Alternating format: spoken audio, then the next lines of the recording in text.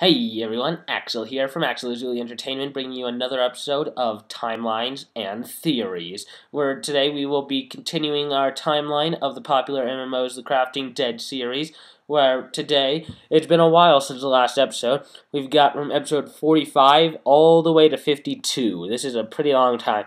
I just watched episode 52 and I was like, oh wait, I haven't done an episode since episode 44, so we've got a lot to catch up on. So, uh, episode 45, the giant tank rampage mission. Uh, how it starts out. Jen and Pat are still looking for the whole group of friends. Right now, they're looking for Honey Boo Boo, uh, the disguised man, and Jelly Bean because their house got blown up in episode 44. And they're worried that they might be gone forever, but in uh, they go into Honey Boo Boo's toilet and discover that they're hidden somewhere else. And so they go, uh, they ha- it, they're provided tanks, and they go on a huge quest to find the base where they are hidden because there's a riddle in there hinting that they are in an army base. Eventually, they find an army base with Honey Boo Boo, uh, the Disguised Man, and Jellybean inside, and they are safe, but they're in hiding. And that's where the first episode cuts out. Uh, and then we move on to episode 46, the crazy exploding planes mission. Now, they uh, now that they've discovered the whereabouts of the disguised man, Honey Boo Boo, and Jellybean, they want to get home so they can find and see if any of their other friends are at their main base. Doing this, they are provided with planes and they fly. The funny thing is, is that the second they get their planes, uh, Jen accidentally backs up a little, barely taps the edge of the army base, and her plane just falls apart. So she just literally just barely taps the edge of the building, and the plane just. But they fly back to the base. Uh, Jen flies up into the air, never to be seen again until she is seen again. And uh, they arrive back at the base, and they discover several things. One, uh, evil Jen and Lemmy uh, were locked up in a cage, which they saved them from. Uh, and Bob, it turns out that Bob is not the villain because Bob was locked up. It turned uh, because the evil Bob was a clone. You could tell because the evil Bob did not have uh, normal Bob's blue sack, his lucky sack. And so they were like, oh, how could we have been so stupid? And it turned out that when Bob was returning home after they saved Bob, he was kidnapped again, and they made the evil Bob clone do evil stuff. And that was no good. Then we move on to episode 47, the Great Wall of Zombies mission. In this mission, they are still looking for the rest of their friends after the whole uh, uh, evil Herobrine debacle. This is not a good time for them. They go adventuring until they find a new massive bunker on the ground. In this bunker are Chad, Haas, and, uh, and Carter. And uh, yeah, that's all. Uh, so they're there. Carter has set up traps to protect them. Haas is working on uh, potions to stop Herobrine. And Chad, of course. Oh, and Suey's at the base. And Chad is work, uh, cleaning up his skulls. Uh, so they discover that, and it's a uh, somewhat uneventful episode. They just adventure until they discover their friends are in this massive bunker, which they decide they need to stay in and use it as a new temporary base to go uh, stop, eh, help their other friends out. Then we move on to the episode 48, the Science Lab of Madness mission. Now, they discover that there's a nearby laboratory, uh, which they go to check out. It is revealed that it was uh, formerly Dr. Trayaurus' laboratory that uh, Herobrine stole from Dr. Trayaurus. And they go inside, and they find two chambers. Uh, an emerald chamber, which is made to erase memories, which is... Uh, and a diamond chamber made to turn people evil.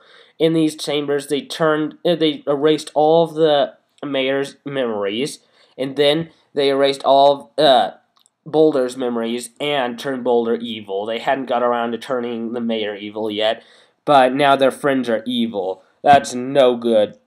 And they uh, they leave and fight some evil Doctor Trayaurus clones, and they go and they find that Valentine is in fact stuck, well, locked up in a cage because uh, the mayor was in the memory erasing chamber, and Boulder was in the evil the evilifying chamber, meaning that there were no room for uh, Valentine to be in either because they're both massive.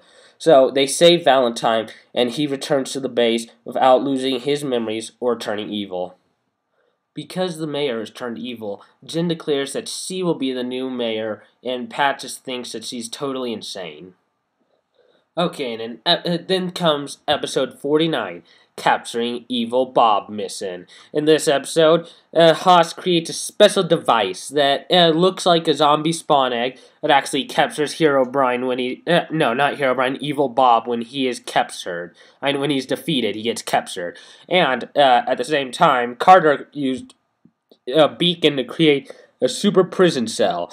And uh, so, uh, the, uh, Pat and Jen go to the uh, laboratory and prepare to fight him. They have an epic battle where they have to take down an evil Boulder clone and an evil Mayor clone. And they they defeat those eventually, and then comes Evil Bob, which which he has over th- like three thousand health. So it's a very very long battle. In the end, they are, they are defeated, and they get the they get Evil Bob captured, and then they put him in his prison, capturing him. Hooray! And then comes episode 50 The Secret Basement Mission. Now, Pat and Jen are trying to interrogate Evil Bob to figure out uh, how to fix their friends and how to defeat Herobrine. What they do is first they try shooting him with guns, it doesn't work. Uh, then they get Carter suggests that they feed him yucky food, and they do, but it still doesn't affect him because he feels no pain. Third, they ask Chad, and Chad suggests uses uh, using one of his skulls as a negotiator, which ends up not working. And then finally, at the very end, uh, Hoss creates a serum that will make uh, make Evil Bob tell the truth. They use the serum, and Evil Bob reveals that there's a secret emerald block inside of uh, their base, which can lead them to a secret basement where all the answers lie. So they go. They go into the base and they go down into the basement.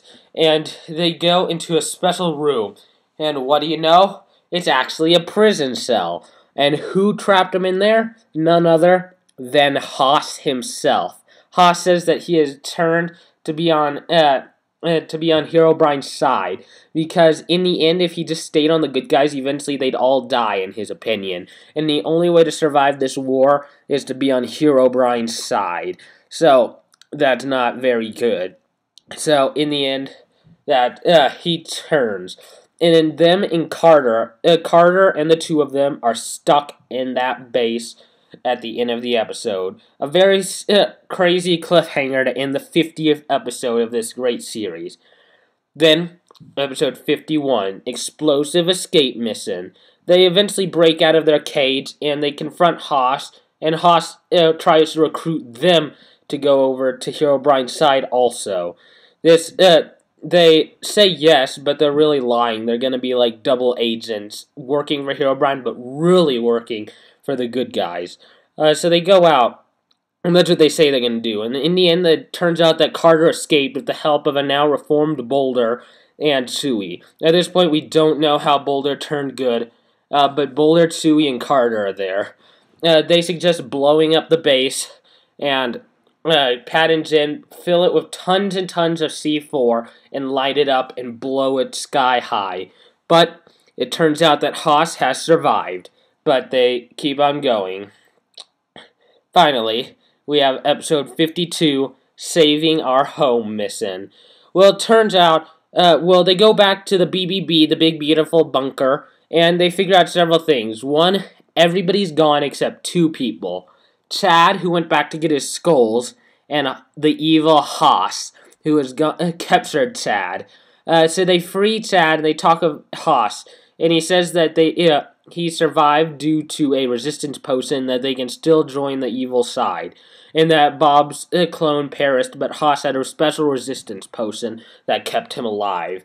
So eventually they free Chad and they start going back home. When they go home, there's something horrible there. Herobrine's most insane and evil creation to date. Uh, the Herobrines monstrous beast. Dun dun dun! A massive monster about the size of Bob's mom, holding a massive machine gun that makes Boulder look small. They eventually defeat it after a long battle, and they get in. It turns out that the mayor and Boulder are cured due to the fact that Chewie pulled them out of the base, and once they were far away from the memory erasing emeralds and the evilifying diamonds, they uh, realized uh, that all their memories came back. Uh, so that was good. So they're all reformed.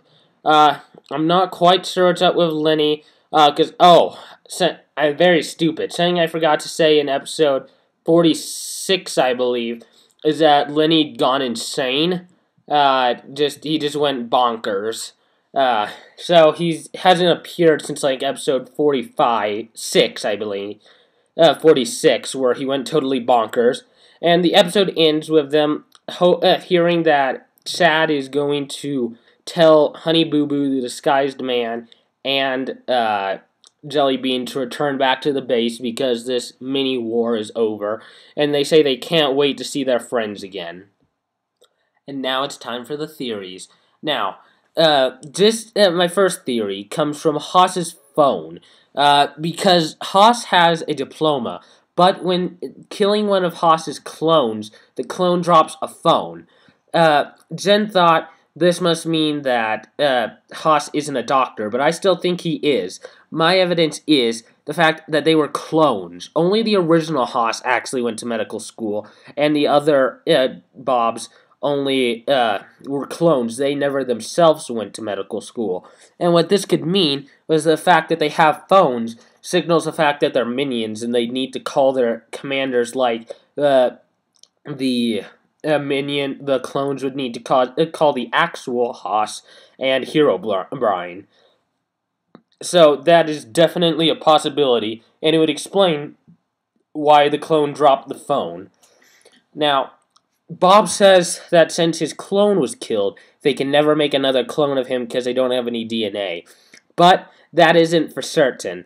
For all we know, there could they could make another Bob clone because that's entirely possible. Because it doesn't say for sure we don't have any more of a Bob's DNA. For all we know, they have a huge stockpile of enough to make 50 more Bob clones. We don't know that for sure.